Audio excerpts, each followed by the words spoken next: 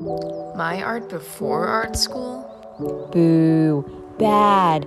That is bad art. Not cool. So not in. I hate it. My art after art school. Yummy.